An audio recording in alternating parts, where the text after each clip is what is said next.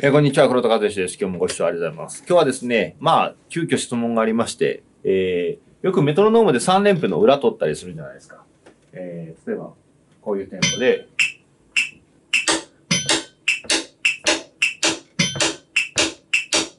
あ、エンダ、エンダス、エンダ、エンダ。この3連符の3つ目に音を入れようと思ったら、僕はもう慣れてるから最初からポンって、あの、裏側に聞けるんですけど、最初の頃からできたわけじゃないですね。で、最初はどうやってやってたかというと、3連符が、タツツ、タツツ、タツツ、タツツってやって、4個目の、タツツ、タツツ、タツツ、タワンエンズを最後の1個を、えっ、と、3連符の2個目のところに無理やり1を歌う。だから、2、3、4、one, two, three, one, two, three, one, two, three, one, one, and two, and three, and four, and one, and two, and three, and four, and わかりましたもうちょっとゆっくりにしようかな。うん。え、one, and two, and the three, and the four, and the one, and the two, and the three, and the four, one, and the two, and the three, and the four, and the one, and the two, and the three, and the four, and the という感じですね。っていうのが、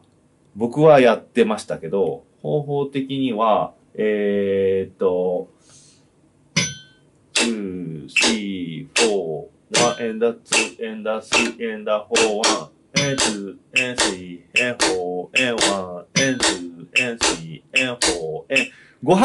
3、4、1、2、3、4、one, one, two, three, four, one, and two, and three, and four, and one, and two, and three, and four. とにかく、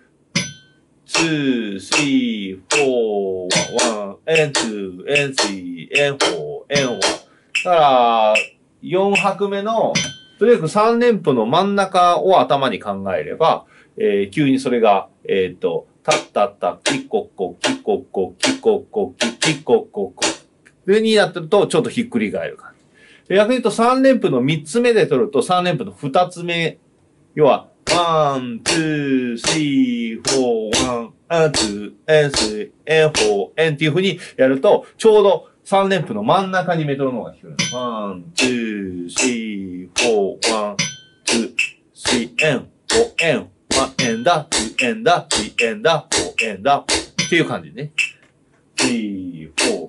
ワン、エンダー、ツー、エンダー、スリー、エンダー、フォー。ワン、エン、ツー、エン、スリー、エン、フォー、エン。ワン、エン、ツー、エン、スリー、エン、フォー、エン。ワン。っていう風に、えやってもらえば、メトロノームがこうずれて聞こえるんじゃないかなっていう風な感じですね。最初ゆっくりからでいいと思います。で、まあ毎日毎日それで練習してると、えっ、と、まあ4ビートやってる時も3年の3つ目。2つ目はかなり難しいんで、あの、かなり上級者向けでいいんですけど、えー、3つ目のやつはまあけかなり最初からやりますね。かつくたつくたつくたつく。最初は3連符のピココピココを鳴らしてやっても全然いいかなと思いますワンエンダー、ツーエンダー、スーエンダー、フォーエンダー、ワンエンダー、ツーエンダー、スーエンダー、フォー、ワンエンダー、ツーエンダー、スーエンダー、フォーエンダー、ワンエンダー、ツーエンダー、スーエンダー、フォーエンダー、ワン。同じことをずっと繰り返していくと元に戻っていくので、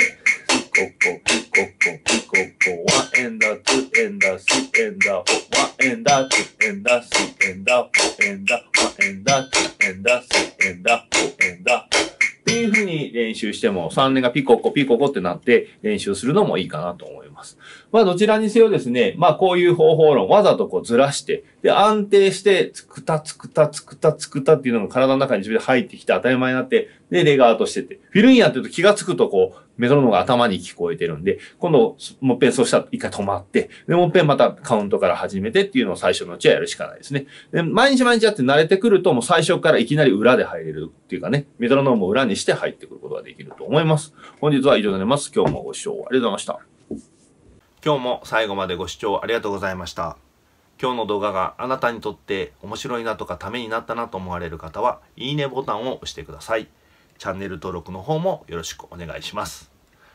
私のメールマガジンがありますので、詳細の欄から URL がありますから、そちらで紹介ページの方でぜひメールマガジンのご検討ください。毎日僕からメールが届きます。ジャズドラムのこととかジャズの歴史のこととか心理学のことについて毎日動画とその解説をお送りしますのでよろしくお願いします3大特典もついておりますのでぜひご検討ください